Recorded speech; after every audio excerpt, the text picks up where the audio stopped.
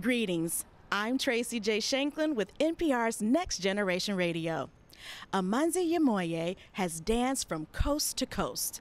But there's one style of dance in particular that he's so comfortable with, it's like being at home.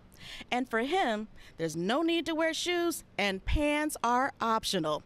It's called contra dancing, and it's become increasingly popular among people who are open to all kinds of self expression.